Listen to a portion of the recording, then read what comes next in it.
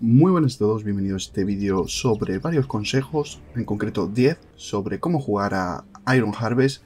Y bueno, vamos a empezar con el primero, y es que Iron Harvest es muy parecido, un juego muy parecido a Company of Heroes, pero una de las diferencias que vemos es que en medio del mapa podemos encontrar armas. Entonces normalmente nos conviene con los ingenieros, que son las unidades de infantería más básicas, más baratas, más malas, pues ir investigando estos como lo vamos a ver aquí, estos cofres, acabamos de abrir uno. Y nos han dado, podemos cambiar y nuestros ingenieros dejarán de ser ingenieros y pasarán a ser en este caso granaderos, que es una unidad mucho mejor que los ingenieros. En este mapa, por ejemplo, aquí hay otro caché de armas, lo que pasa está muy lejos, pero bueno, es muy muy muy importante al principio de la partida. Eh, pues eso, porque ahora por ejemplo si nos enfrentamos al enemigo vamos a tener una clara superioridad, porque vamos a tener tropas de mucho mejor calidad. Fijaos, vamos, os lo voy a enseñar porque vamos, queda clarísimo. De hecho podemos tirar una granada, que eso ya de por sí hace bastante daño. Bueno, segundo consejo es que al igual que hay cajas llenas de armas, hay también cajas, cajas con hierro y cajas con eh, petróleo o gasolina. Los dos recursos del juego.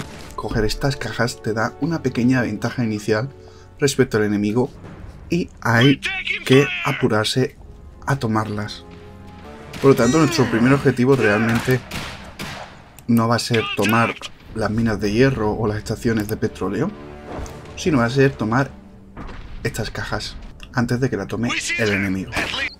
Bueno, y otro punto importante, fundamental sobre todo al inicio de partida, que va a marcar los primeros combates, es el tema de la cobertura. Tienes que procurar siempre que tus unidades estén detrás de una cobertura, porque eso hace que el daño que reciban sea mucho menor y en un combate directo entre dos tropas iguales, la que tenga cobertura va a ganar casi siempre a la que no tenga cobertura. Entonces, es súper importante eso, estar siempre o procurar estar siempre bajo cobertura. No obstante, hay una excepción y es que cuando el enemigo tiene lanzallamas, tiene que procurar estar siempre fuera de una cobertura o fuera de un edificio, porque el lanzallamas hace más daño si estás detrás de la cobertura. Pero bueno, eso es una excepción, en el resto de ocasiones vas a querer siempre estar bien protegido. Aquí lo vemos, por ejemplo, un ejemplo claro de que muchas veces cuando ya nuestras unidades peligran, tenemos que retirarlas con la R para que no nos la maten. ¿Por qué? Porque, primero, porque las unidades obtienen veteranía. Y con veteranía pueden utilizar habilidades y no podemos dejar que una unidad veterana muera. Y segundo, porque aquí en la base cuando llegue la podemos reforzar y nos sale mucho más barato que construir otra unidad de cero. Por cierto, una cosa muy llamativa, a diferencia de Company of 2, que ocurre es que eh, en el Company of 2 los tanques y los vehículos no se podían retirar. Aquí en este juego los mecanoides sí se pueden retirar, así que tenedlo en cuenta si uno de vuestros mecanoides está en apuros. Lo veis, vamos a reforzar ahora y nos sale mucho más barato.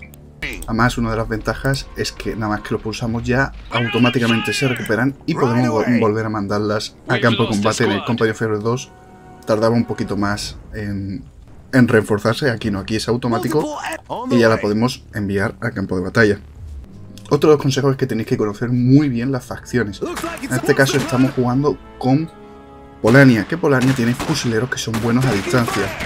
Entonces tenemos que tener cuidado de no acercarnos mucho a las tropas, que en este caso son los Rusviet, que por ejemplo los Rusviet tienen tropas que son muy buenas en el cuerpo a cuerpo o en distancias cortas. Entonces vamos a tener siempre que intentar mantener la distancia. En general podemos decir que eh, los Rushviet son una facción centrada en el rush, tienen muy buenas tropas para hacer el rush, un early game muy potente, pero un late game eh, un poco inferior a las demás. Sajonia es la más equilibrada de todas, tiene, tiene tropas muy equilibradas, tanto en el early game como en el late game y sus mecanoides se caracterizan porque son... Uy, aquí estamos en minoría. Vamos a tirar una granada. Sus mecanoides se caracterizan porque son muy pesados, muy, muy buenos, hacen mucho daño, tienen buena armadura, pero son muy pesados. En cambio, Polania es la facción que yo creo que más le cuesta empezar, porque los fusileros creo que son la peor unidad de infantería, o por lo menos ahora mismo están así. Ahora mismo las otras, la de Sajonia y sobre todo la de Rusviet, tienen mejores unidades de infantería. Pero sus sus mecanoides son baratos, son muy versátiles, son muy rápidos y es una facción que, bueno, si sabes utilizarla, es muy buena. También es muy importante conocer las unidades. En este juego, eh, cada tipo de unidad es buena contra ciertas unidades y mala contra otras. Entonces, por ejemplo, por ejemplo, hay mecanoides que son muy buenos contra infantería y hay otros que son malos contra infantería pero muy buenos contra otros mecanoides. Cañón de campo este, por ejemplo, que vemos aquí es muy bueno en general contra edificios y contra mecanoides, pero no es tan bueno contra infantería porque eh, su puntería no es la mejor. Eh, en fin, hay que conocer todas las unidades. Eh, yo tengo guías de las tres facciones, o si no las he subido ahora, lo voy a subir los próximos días, en el que os voy a explicar las unidades de, cada facción. Y os explico también en esa guía, pues, básicamente para qué sirve cada unidad, que es muy importante conocerlas. Y al principio cuesta un poco de trabajo. Pero también es muy importante, que se nos olvida muchas veces, usar las habilidades. Hay algunas las unidades a veces tienen habilidades que pueden utilizar desde cero, como por ejemplo aquí los granaderos, podemos tirar una granada sin problema. Pero también tiene habilidades que se pueden hacer cuando son unidades veteranas, como por ejemplo esto, el grito de batalla, que hace que disparen más rápido. Y muchas veces se nos olvida utilizarlas y es muy, muy, muy, muy, muy importante tener eh, o saber usar las habilidades, estar pendiente, porque suponen, suponen una gran ventaja en muchas ocasiones. Bueno, otra cosa que hay que tener en cuenta y que muchísima gente se olvida es que nuestras estructuras se pueden mejorar, en este caso costaría muy poquito mejorarlo, y nos producen más. ¿Cuál es el problema? Bueno, el problema es ahora mismo que estoy aquí hablando y no me concentro en la batalla, me están dando pal pelo.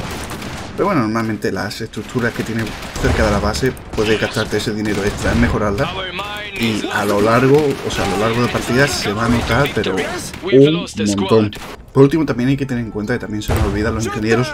Ya os he dicho, son eh, las tropas más baratas, las peores tropas en el combate, pero son tropas muy versátiles. Nos sirven para reparar los mecanoides y nos sirven también para crear estructuras defensivas. A ver si me dejan si me dejan construir algo mientras estoy retirando. Y bueno, básicamente los ingenieros pueden construir búnkeres. Vamos a orientarlo mejor. Los búnkeres son, son útiles para mantener, sobre todo en donde hay cuellos de botella, donde solo se puede eh, acceder por un sitio. Son muy útiles, aunque bueno, también depende mucho del estilo de juego, de la facción a la que te enfrentes, del momento de la partida. Pero bueno, también el tema de las sandbags son buenos para crear posiciones defensivas. El barbed wire es muy bueno para bloquear el paso de la infantería y las minas también son súper útiles, casi nunca se ponen. Pero sobre todo al final de la partida que te sobran recursos, vienen muy, muy bien. los búnkeres, el problema es que para crear búnkeres avanzados, tus ingenieros tienen que ser veteranos o élite, pero bueno, si no construyes el básico y lo mejoras desde aquí. Al principio, el primer nivel es una ametralladora, el siguiente nivel es un cañón dentro del búnker.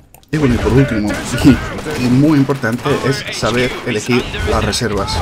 Las reservas, como vemos aquí, tenemos dos reservas. La primera reserva la podemos sacar cuando hemos creado o bien un barracón o bien un taller. Y la segunda reserva cuando, cuando hemos pedido la primera y aparte hemos mejorado el barracón o taller. Por ejemplo, si elegimos Polania, como estábamos hablando, nos da la primera opción de elegir un héroe. Siempre es obligatorio elegir un héroe. Vamos a elegir a Anacos, por ejemplo. Y aquí tenemos eh, el sistema de reservas. El sistema de reservas funciona en que tienes 6 monedas y te las distribuyes como quieras. Te puedes crear las dos, puedes llenar las dos reservas, por ejemplo, así. No es una mala elección, está, es útil, pero también depende de tu estilo de juego. Si quieres que la partida se va a alargar, pues mira, este sistema de reservas es muy bueno. Si lo que quieres o lo que buscas a lo mejor es hacer un ataque temprano súper fuerte, a lo mejor pues este puede ser un buen sistema de reservas. Si quieres esperar porque crees que se va a alargar mucho la partida, pues podrías hacer esto. Aunque yo no lo recomiendo mucho, porque ya os digo, para pedir la segunda reserva hay que pedir la primera y, no sale rentable. Pero bueno, esto ya os lo veis vosotros, pero que sepáis eso, que el sistema de reserva ahora mismo es fundamental. Y nada, eso es todo, ha sido un vídeo muy muy rápido, lo he preparado aquí a última hora.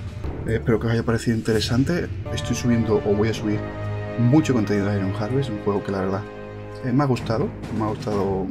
Al principio el tema de los mechas no me atraía mucho, pero bueno, me ha gustado el sistema de juego. Y nada, eh, si veo que los vídeos tienen apoyo, pues intentar hacer tutoriales un poquito mejor elaborados. Y, y no este vídeo que ha sido muy rápido, pero bueno, lo que quería era eso, que tuvierais varios conceptos muy claros a la hora de empezar a jugar, que os van a ahorrar mucho tiempo.